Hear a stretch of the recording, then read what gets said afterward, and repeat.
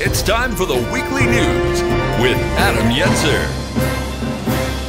U.S. fighter jets finally shot down the Chinese spy balloon off the coast of South Carolina after it crossed the entire U.S. So thank you, President Biden, for successfully stopping China from spying on the Atlantic Ocean.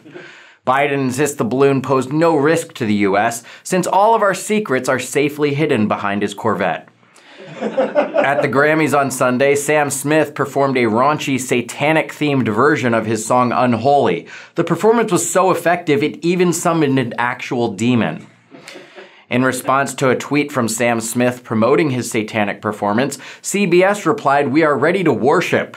To thank them for the shout out, Satan let everyone in hell watch CBS for a little before switching back to The View. A clip went viral of Ben Affleck looking bored at the Grammys. It's the same look other people have when they watch a Ben Affleck movie.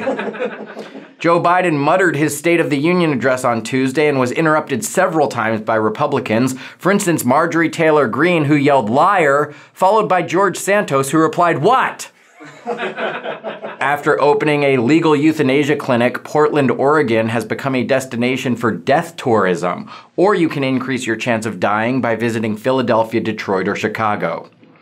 An Instagram model who goes by the name Mary Magdalene revealed that one of her 38J breast implants burst. The Air Force has apologized, saying they thought it was a Chinese spy balloon. That's it for weekly news. Come see me live this weekend at the Looney Bin in Wichita, Kansas, February 18th at the Comedy Chateau in North Hollywood, and at On the Rocks in Helsinki, Finland, March 1st. Aha! I just caught you watching the Fascist Babylon Bee YouTube channel. But now that you're here, we need all the people we can get. You gotta like, comment, subscribe, and hit that little bell so we can report all of their fascist content to our YouTube overlords, who are definitely not lizard people controlled by George Soros.